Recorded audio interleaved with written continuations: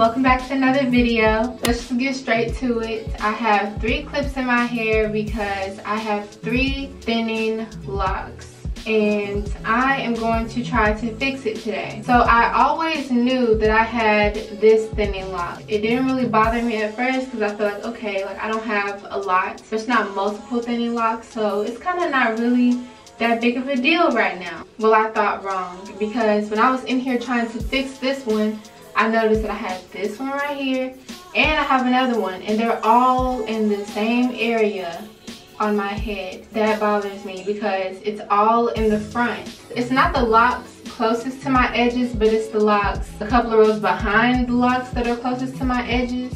So as you can imagine, my spirit was bothered when I noticed that I had three and honestly, at this rate, it could be more.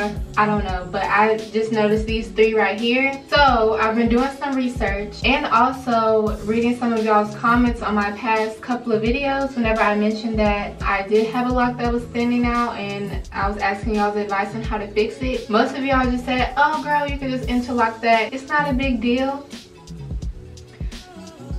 Well, I started watching some YouTube videos pertaining to trying to fix thinning locks. And most of the videos that I watched that had like the same amount of thinning as mine it was like traditional size locks.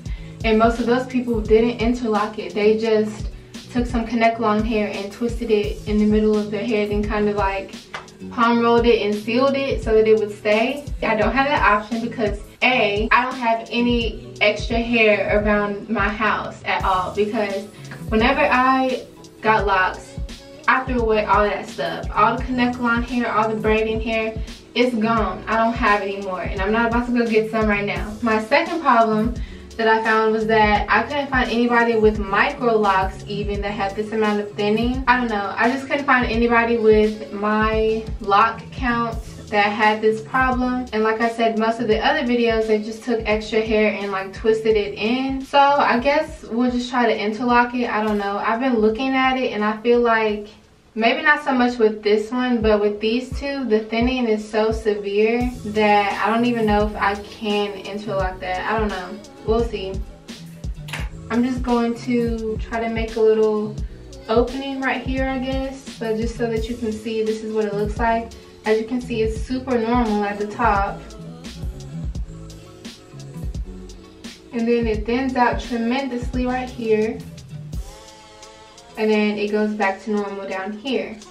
So I'm just going to try to make a little space so that I can have enough room to put the bottom portion of the lock through it. I'm just going to use this lock tool that I've been using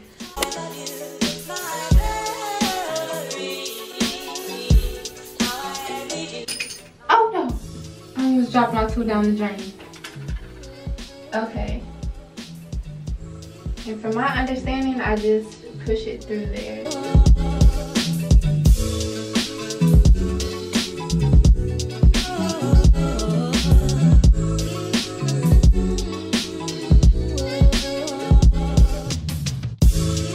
I feel like this isn't doing anything.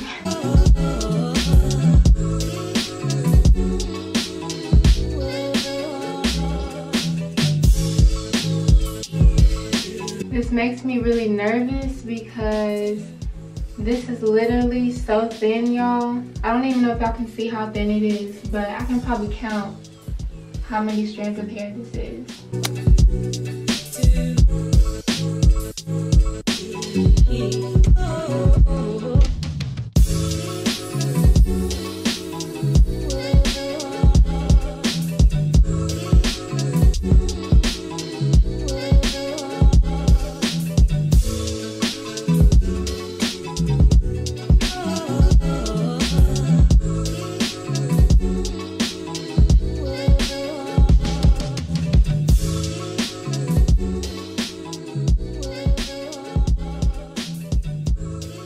Okay, now I just made a knot.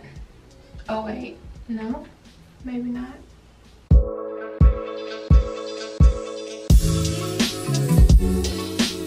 Okay, I don't know. It looks a little bit better. Okay, I'm just gonna leave this one alone. I just clipped that last one back to the side and I'm just gonna do this one now. This one is like a little bit better. It's not as bad because the little loose hairs is just like this little section right here and I can see a little bit better.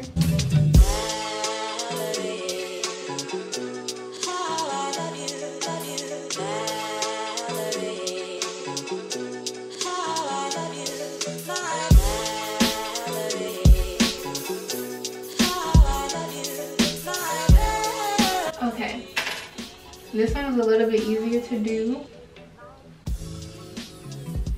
And now for this one. This one is the worst in my opinion. I don't know if y'all can see, but it's literally thin from here to here. So, okay, so for this one, I'm just gonna do the same thing. I'm sorry if y'all can't really see, but I'm just regularly interlocking it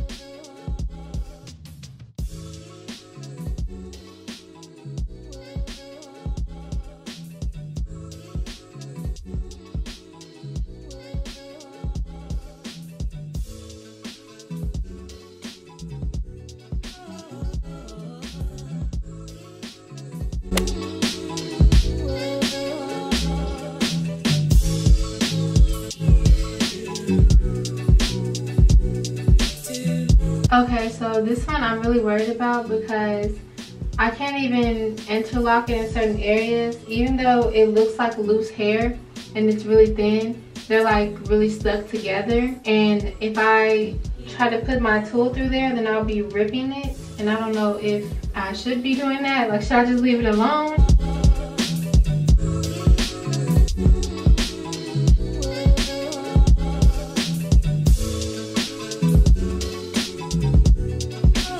I'm just gonna save that one.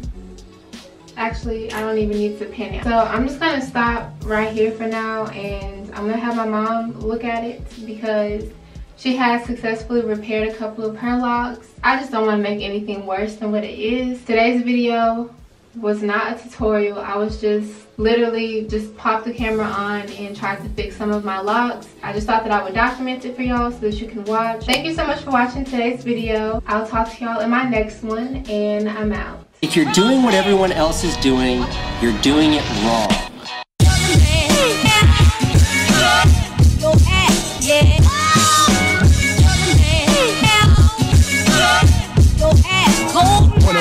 Ever do it.